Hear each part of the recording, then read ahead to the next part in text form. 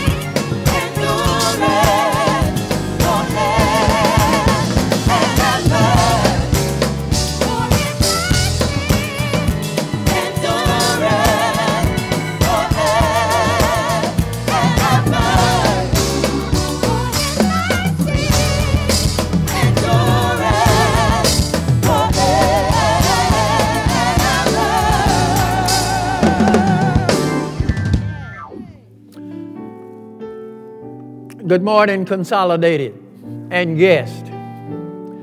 Once again, we have the privilege of greeting you in the name of our Lord and Savior, Jesus the Christ, who is alive and well. This again is the day that the Lord hath made. We will rejoice and be glad in it. I invite you to just worship with us this morning, even as I thank God for your presence. Wherever you are around this country, we welcome you to this time of worship and fellowship. And we even now give God all the glory, all the honor, and all the praise. So, wherever you are, before we go any further, just put your hands together in your bedroom. Put your hands together in the living room. Put your hands together wherever you find yourself as we celebrate the goodness of our God. Thank God for the ministry of music, and we certainly thank God for each of you that have chosen to join us on this, the Lord's Day. Uh, it's been a great week. God has blessed us, God has kept us safe and from all hurt, harm, and danger. God has strengthened us, provided for us, and protected us. And so today we just want to celebrate the goodness of our God in this season of Thanksgiving and just be reminded that it's a good time to say thank you, Jesus. It's a great time to say Thank you, Lord, because He's been mighty good to us. So, wherever you are, just bless God for being good. Go ahead and thank Him right now, and we'll be sharing more on that topic of thanks in just a few minutes. But I don't know about you, but I just want to tell you, I'm thankful today. I'm grateful today that God has granted us another opportunity to gather, even virtually, to lift up the name of the Lord. I invite you to open your Bible with me this morning. Uh, make sure your device is on that you might uh, not just follow, but join us in the reading of the Word of God as recorded in Psalms 136. I'm going to read two verses from that psalm the first verse and the last verse. That being Psalms 136, verse number 1, and Psalm 136, verse number 26. I give you a moment to arrive there. I'll be reading from the New King James Version this morning as we seek to lift up a word that we might be blessed and encouraged as the people of God. Psalms 136, verse number 1 and verse 26 reads as follows Oh, give thanks to the Lord, for he is good, for his mercy endures forever. Oh, give thanks to the God of heaven, for his mercy endures forever. Such is the reading of the Word of God. Join me now for a moment of prayer. O Lord our God, how excellent is thy name in all the earth.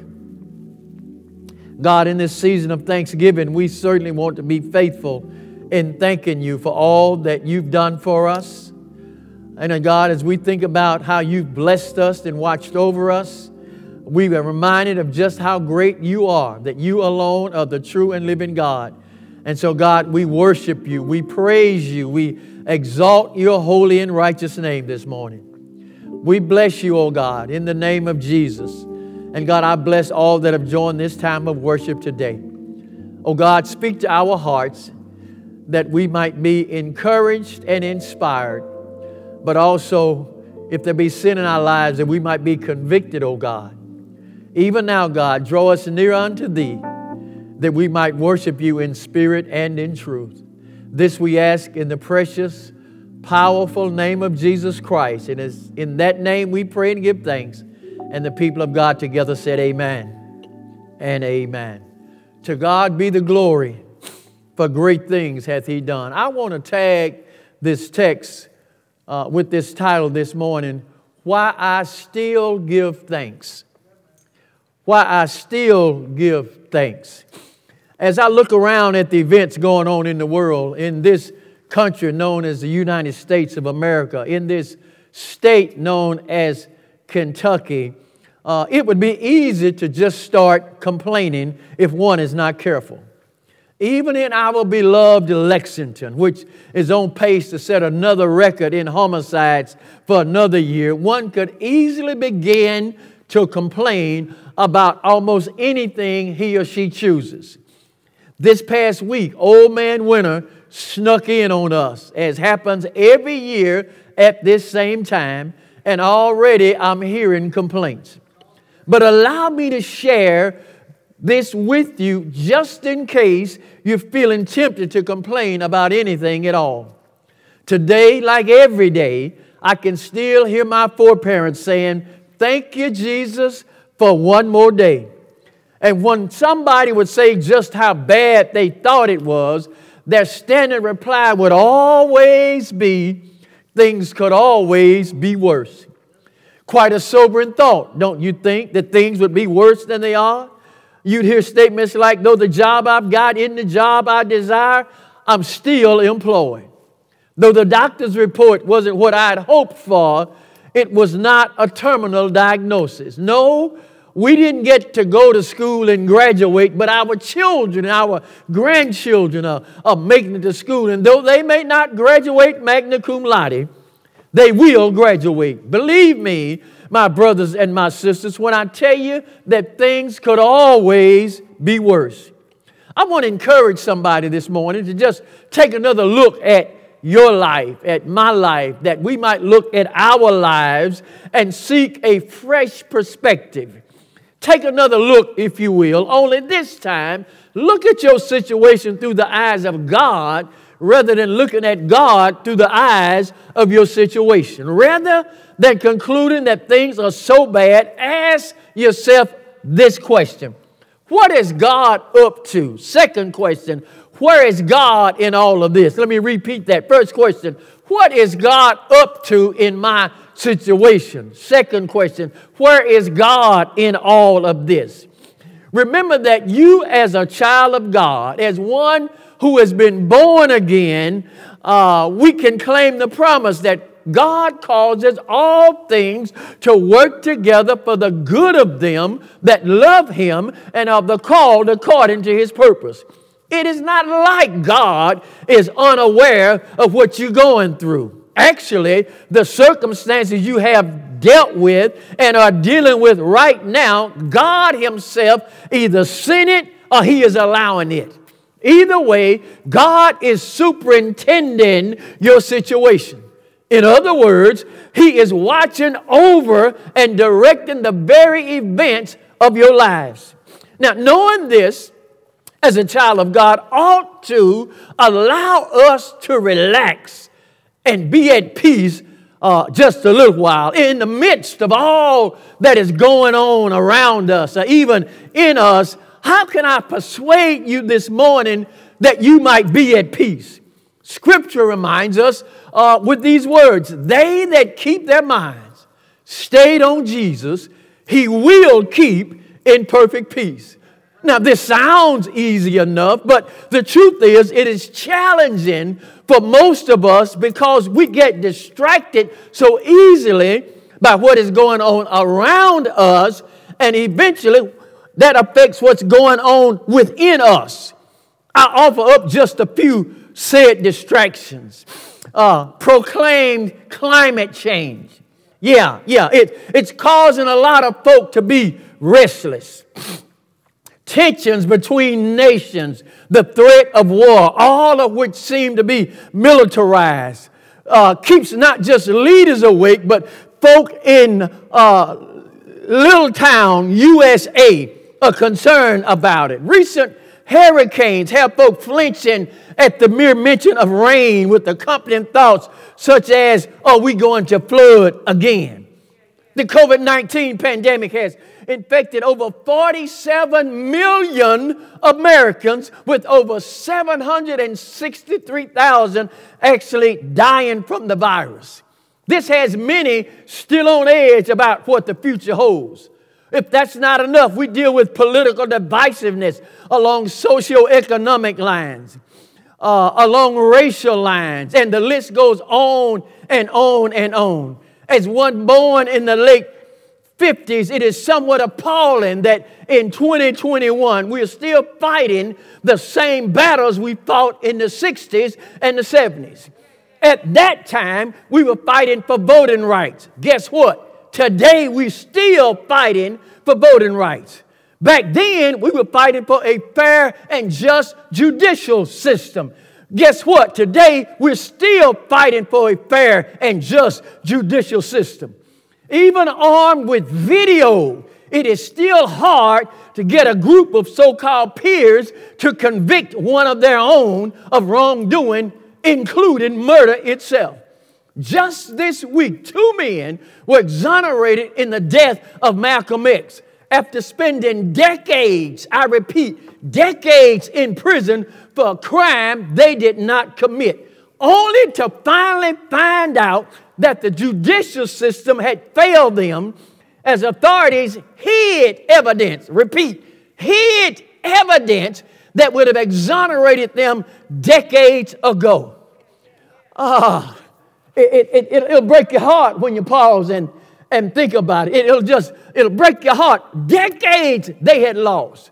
Decades away from friends and family. Decades away from the possibility of being a productive citizen in society. But by now, somebody's asking the question, Rev, what does all of that have to do with the price of tea in China? Or what does it have to do with Jesus on a Sunday morning? To your credit, you ask a relevant question. Here is my attempt at an answer. After all we've been through, we are still here. By the grace of God, we are still here. It's a wonder that we have not lost our minds with all that we've had to endure at, at the hands of those, many of which call themselves Christians. All I can say is God is a very present help in our time of trouble. It is for this reason that I will yet give thanks. Despite where we're being, I'm going to give thanks. Despite what we're going through right now, I'm still going to give thanks. Now, lest I be accused of not preaching the Bible, allow me to get to the text.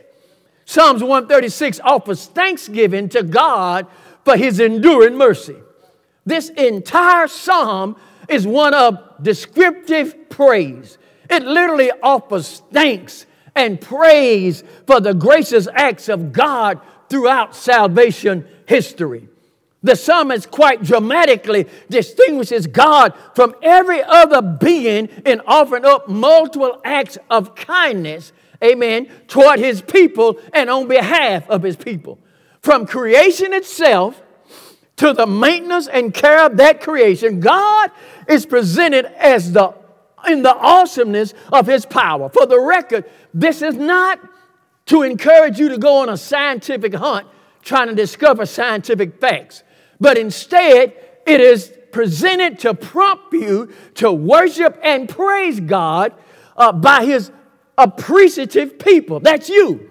The first point, and I only got two points this morning. The first one is this that's found in our text comes in the form of a command. Number one, we are commanded to give thanks. Ah, let me remind us we are commanded to give thanks. This is not a recommendation, it is not simply put out by the psalmist for our consideration. It is not a holy hunch, but is an actual command. We are commanded to give thanks to the Lord. The psalmist then asks, uh, offers an answer to an irrelevant question of why we ought to give thanks. Because he is good, for his mercy endures forever. That's a good reason to shout. Good place to shout right there. We give thanks because God is good and his mercy endures forever.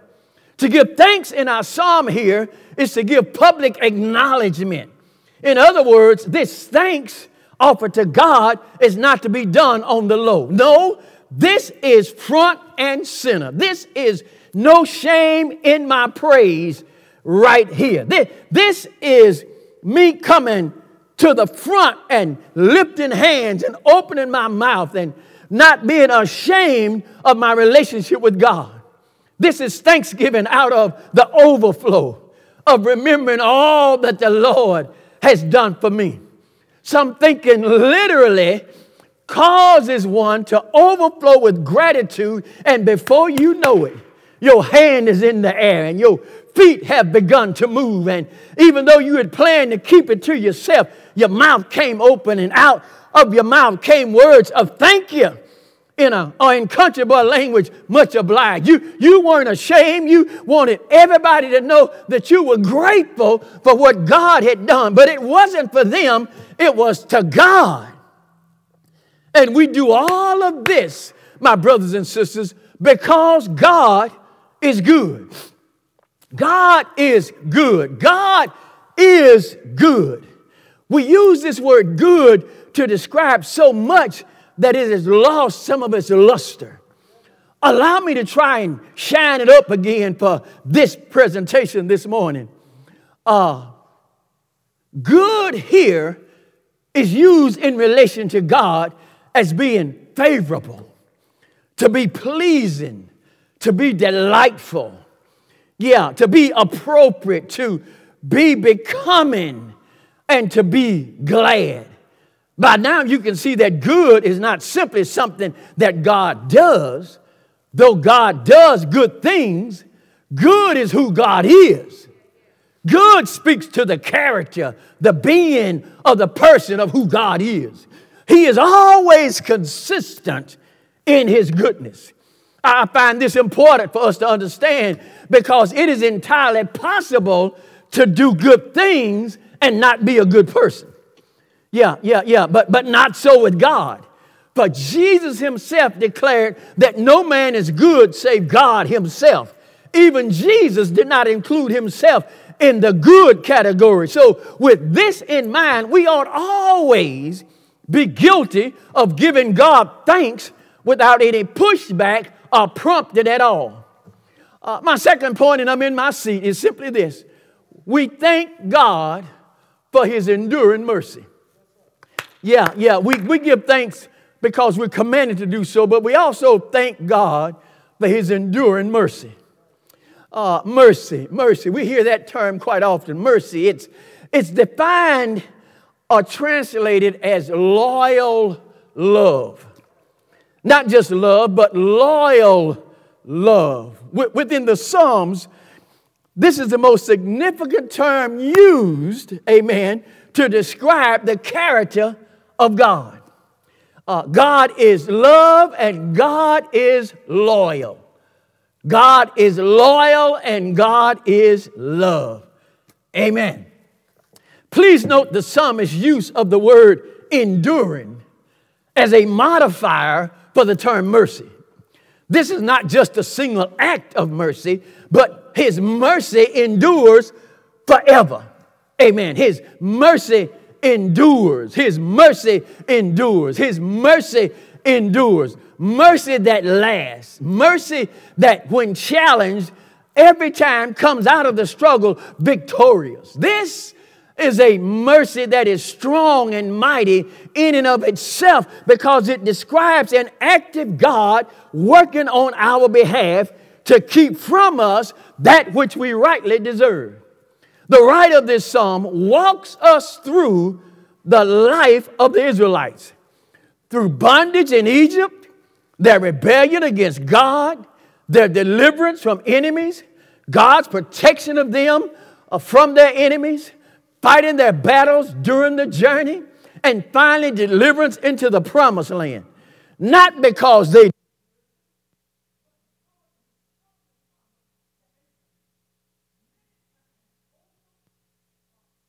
disappointed God, but God's mercies, which are new and fresh every morning, kept from them that which they deserve. Does that not sound familiar, at least a little bit like your story or my story? Before we break hard on the Israelites and cut them up in criticism, let us remember from whence we have come ourselves. All of us have sinned and gone astray. All of us have fallen short of the word glory of God. All of us could have been consumed or destroyed, written off. But this merciful God looked beyond our faults and saw our needs. I don't know how you feel about it, but I need mercy. Every day I need His mercies. Multiple times a day I need His mercy. Aren't you glad His mercy is an enduring mercy? It doesn't just work on Sunday, but it works Monday, Tuesday, Wednesday, Thursday, Friday, Saturday, Sunday. Every day, His mercies are new and fresh every morning. This psalm ends the same way it began with celebration of God's faithfulness to Israel and a call to thank Him, a command to thank Him for His goodness. I believe you and I could be expected to do no less. Just take a moment with me and look back over your life and think about His goodness to you. After all, we are in a season of Thanksgiving. As I think for myself, I got a few things I'm just thankful for as it relates to this great God. I'm, I'm thankful that He created me. I'm thankful that He's sustaining me. I'm thankful that He found me. I'm thankful that He delivered me. I'm thankful that He saved me. I'm thankful that He's sanctifying me. I'm thankful that one day He's going to glorify me. I'm thankful that He guides me. I'm thankful that He is protecting me. I'm thankful that He's teaching me. I'm thankful that He's feeding me. I'm thankful that He's caring for me. I'm thankful that He woke me up this morning. I'm thankful that He kept me all day long. But most of all, I'm thankful that He died for me. So, in spite of all that I've been through, or maybe going through right now, I'm still going to worship Him I yet have reason to give him thanks. As I thank him, I have more and more reasons to do so. For as I thank him, I think about who he is, and my mind rolls back to the last time he rescued me, the last time he delivered me, the last time he forgave me, the last time he cleaned me up and sent me on my way. When each time I deserved to die, he only offered me life. My brothers and sisters, I have a right and I have a responsibility to say thank you for He is good and His mercies endure forever. On the way to my seat, can I just remind somebody of the price He paid for your sins? God sent His only begotten Son into the world and He died for our sins. He didn't have to die, but His love for us is what kept Him on that old rugged cross on a hill called Calvary. They buried your Savior and my Savior in that borrowed tomb. But the Bible reminds me that he rose bright early on that Sunday morning. And even now, he's seated at the right hand of God making intercession for us. So I just want to thank God because he's done so much for me. I wish I could, but I just can't tell it all. God's been better to me than I've been to myself, and I want to be faithful to follow the command of the psalmist to give thanks to the Lord, for he is good. His mercy endures to all generations. To God be the glory, to God be the honor, and to God be the praise. Hallelujah and amen. Bless his holy name. Bless his holy name. Bless his holy name. What a mighty God we serve. He's done so much for us. So much. The least we can do is say thank you. I used to hear the older folks say back in the community when people are nice to you, you ought to say thank you because when they're nice, they don't have to be nice to you. So when they are, tell them thank you. Give thought for a moment to what God has done for you. You ought to be able to say thank you. No matter how you feel, no matter what your lot is in life, you ought to be able to find at least one thank you in the depths of your heart. Somewhere in your soul, you ought to have a thank you, a much obliged. God, you didn't have to, but you did. And I want you to know, God, I appreciate what you've done for me. I was a wretch undone, but God, you came and rescued me. Thank you. God, I had a destiny called hell, but you turned my life around. Thank you. God, I was sick, and the doctor said I only had about six months. It's been six years, and I'm still here, God. Thank you. Thank you. Thank you. God, they told me when I was a little toddler, wasn't going to mount to nothing. There wasn't going to be anybody. But look what you've done. Thank you, God. Thank you. Had some ups, had some downs, some hills and some valleys. I had some challenges, but your mercy endures. And God, you kept me in my right mind. You kept my enemies at bay. God, you did for me what I could not do for myself. And I just want to thank you, Lord. I just want to thank you. I just want to thank you. God, I thank you for being so good to me. God, you have even saved me from myself, not to mention other things and other people. You alone are God. You alone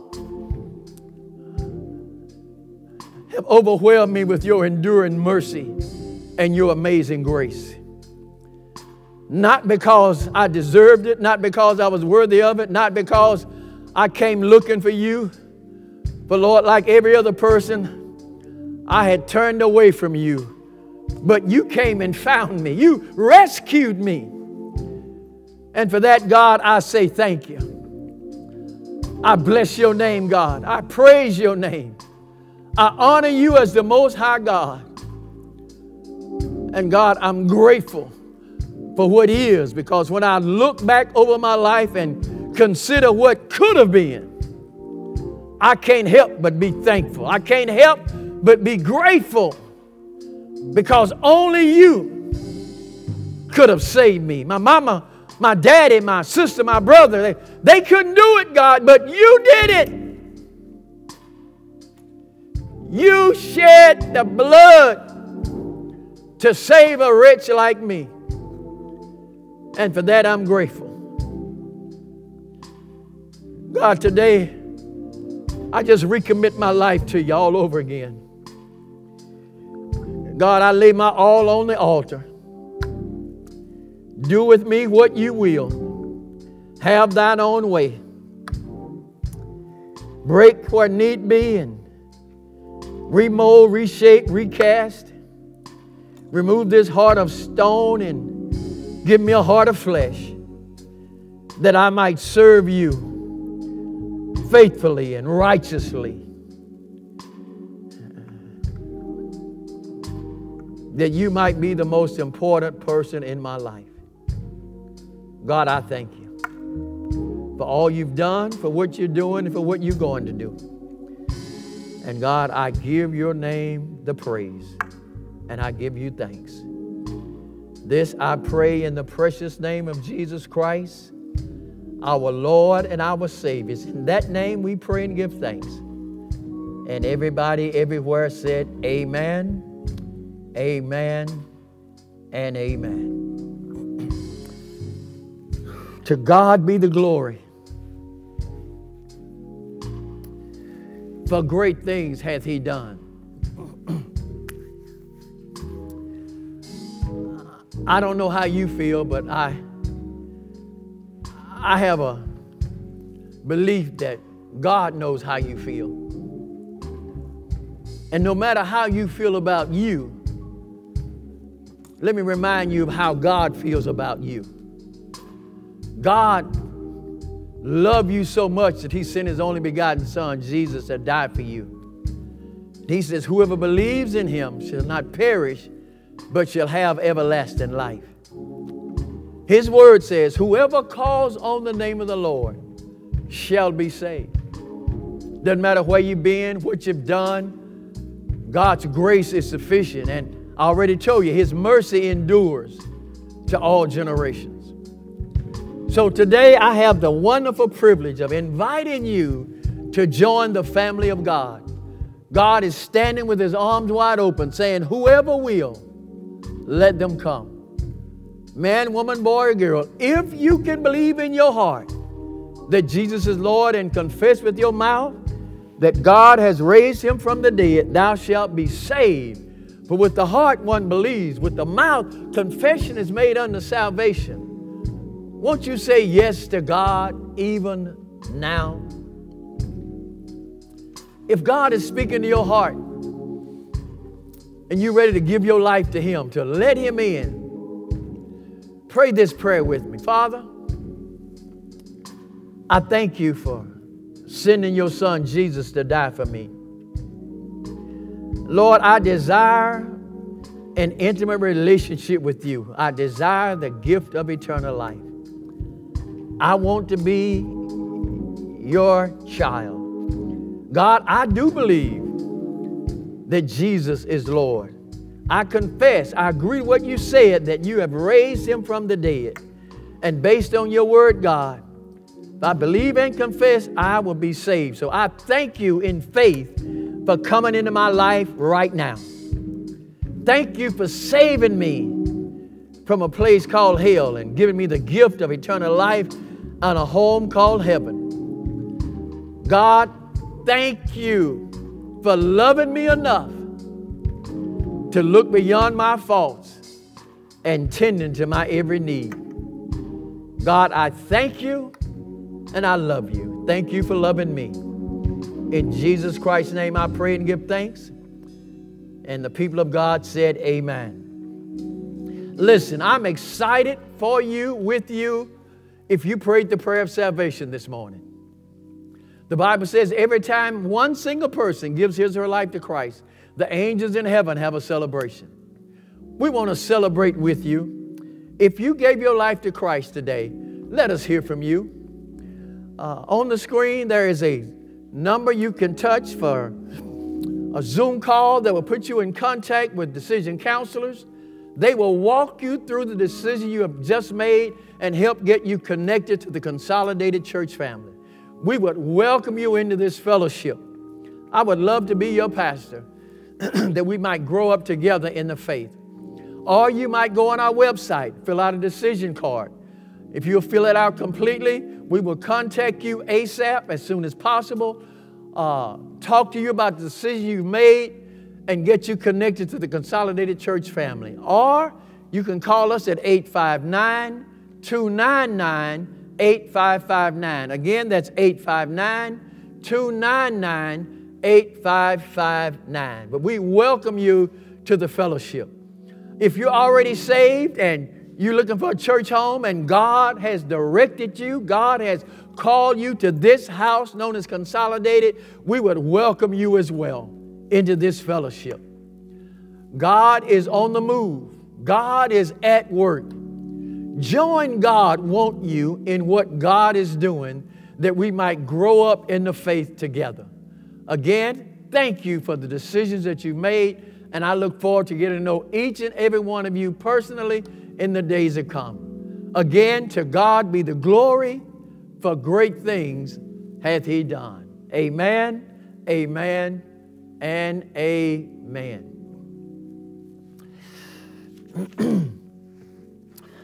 Thank God for the word today. I pray that you were blessed, you were encouraged by it.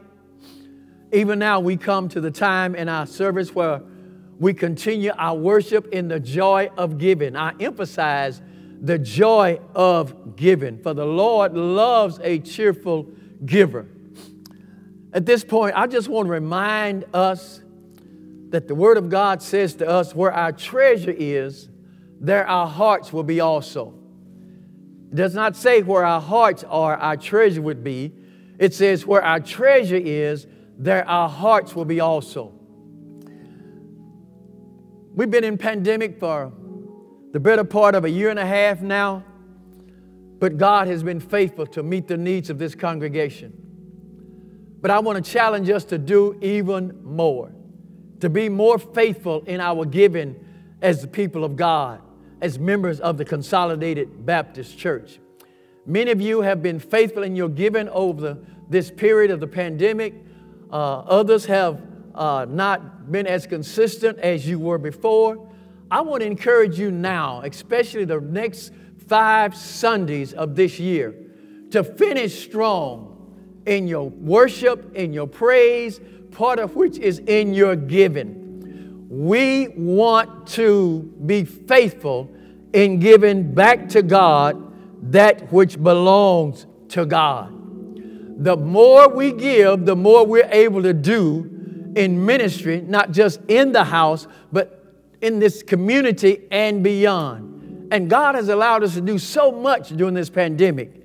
Uh, I can't wait till we get back, but uh, let me just say up front there's much to be done. And part of that will be done by our giving as the people of God. So join us in giving. We have five ways to give in consolidated life. Five ways on your screen even now. You can give via our church app. You can give via our website. You can text your offering to 84321. You can mail your offering to 1625 Russell Cave Road, Lexington, Kentucky 40505. Or you could drop off your offering at the church. We have a secure mailbox under the canopy on the street side. Either of those five ways you can give in consolidated life. And trusting that you're going to do so and be faithful, we want to just pray right now to bless you in your giving, that you might give joyfully uh, at the level that pleases God. Amen. So join me in prayer. Even now, God, we come before you. Even now, thanking you for what has been, thanking you for what is, thanking you in advance for what shall be. For God, I am convinced that the best is yet to come in the life of the Consolidated Baptist Church and the community that surrounds her. Father God, touch our hearts that we might be found faithful to give back to you a portion of that which you have blessed us to be stewards over. God, help us to comfortably, joyfully, cheerfully be generous givers. Let us not be limited even by the tithe, but where God has blessed us to give more abundantly, let us be faithful to do just that. And in all that takes place, God, may you be glorified and may your people be blessed. This we ask in the precious, powerful name of Jesus Christ, our Lord and Savior. And the people of God together said, Amen, Amen, and Amen. To God be the glory, for great things hath He done. Amen, CBC. Thank you so much to all those who gave, those who didn't have it to give. We're praying the next time you come to God's house, even virtually, you will have something to give on that Sunday morning. But before we leave, my friends, a few quick announcements to offer today. They are not many, but first and foremost, please know that in observance of the Thanksgiving holiday, the church office will close on this Wednesday afternoon and remain closed for the remainder of the week that our leaders can spend time with their families. We know it's Thanksgiving, it's the holiday season, and we want everybody on the team to make sure they spend time with their families this week. So we will see you on next week following the Thanksgiving holiday. Secondly and lastly, if you're up for another round of worship on this Sunday morning, our very own Pastor Gaines is sharing this week with our good friend, the Reverend Dr. F. Bruce Williams, and the Bates Memorial Baptist Church in Louisville, Kentucky. They are virtual as well, just like we are, and they are worshiping at 8 a.m., 10 a.m., and 12 noon. So once you leave this broadcast, slide on over to Bates Memorial and let's support our senior pastors he shares today for their seniors weekend. Amen. Preach, Pastor. Preach, Pastor. Yes, I know he will do just that. It's prayer time today, my friends. And even now, you'll find requests on the screen. A few we want to emphasize today Brother William Emerson, Brother Stanley Gaines, Sister Charlene Little, Sister Charles Etta Minor, Deacon Jim Wims, the family of Brother Darren Marion, the family of Brother Mushud Abulu, who made the transition, and the family of Brother Barry Turner, who was memorialized on yesterday. Of course, to all those who remain affected by COVID 19, we want to be in prayer with them and for them that God's will will be done in their lives and we will stay safe and protected. Let's pray.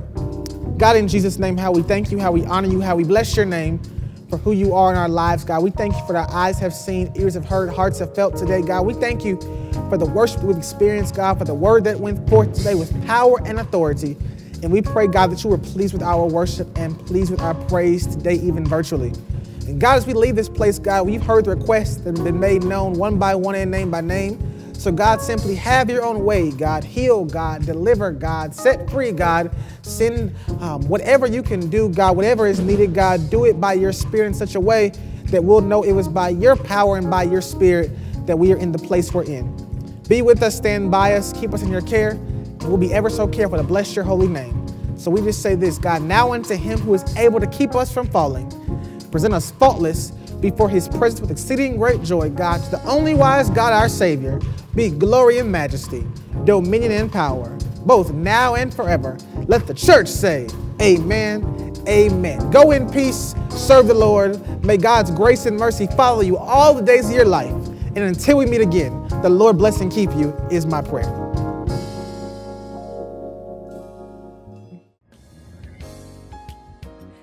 For tuning in to another edition of CBC Unplugged. We are so grateful that you chose to worship with us today, and we pray that you were blessed by the Word of God. Don't forget, we have five ways to give here at Consolidated. You can give via the CBC mobile app. You can give online at www.consolidatedbaptist.org. You can give via text to 84321. You can give by mail via the address on your screen, or you can even physically drop off your gift to the safe deposit mailbox on the Russell Cave side of our church campus. However, you choose to give, we thank God for your continued faithfulness, and we encourage you to utilize the medium of your choice. Make sure you stay connected with us via our website, mobile app, and social media platforms for any and all updates regarding our digital offerings throughout the week. On behalf of Pastor Gaines and all of us here at Consolidated, please know that we are praying with you and for you. Until next time, God bless and have a great week.